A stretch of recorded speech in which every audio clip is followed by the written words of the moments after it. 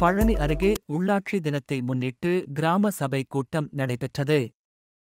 பழனி அருகே கலிக்க நாயக்கன்பட்டி ஊராட்சியில் நடைபெற்ற கிராம சபை கூட்டத்தில் நவம்பர் ஒன்று இம் தேதியை உள்ளாட்சி தினமாக அறிவித்து முதல்வருக்கு நன்றி தெரிவித்து தீர்மானம் நிறைவேற்றப்பட்டது. இன்று உள்ளாட்சி தினத்தை முன்னிட்டு அனைத்து ஊராட்சிகளிலும் கிராம சபை கூட்டம் நடைபெறும் என தமிழ்நாடு அரசு அறிவித்திருந்தது. இதனை ஒட்டி பழனி அருகே கலிக்க நாயக்கன்பட்டி ஊராட்சியில் சட்டமன்ற உறுப்பினர் ஐ பி செந்தில்குமார் தலைமையில் கிராம சபை கூட்டம் நடைபெற்றது.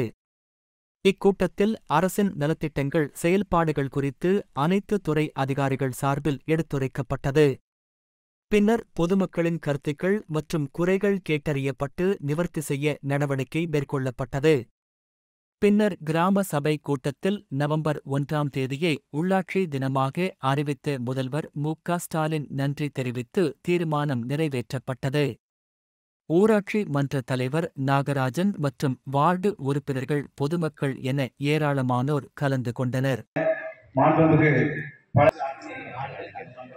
இன்னும் ஃபியூச்சர்ல வந்துட்டு நெக்ஸ்ட் மந்த்ல வந்து நான் என்ன பிளான் பண்ணிருக்கோம் அப்படின்னா பழனி ஜிஹெச் நம்ம ஆப்ரேஷன் பண்ணோம்னா எங்க இருந்தாலுமே நம்ம பழனி ஜிஹெச் தான் போகணும் அப்படின்னு ஒரு நிலைமை இருக்கு.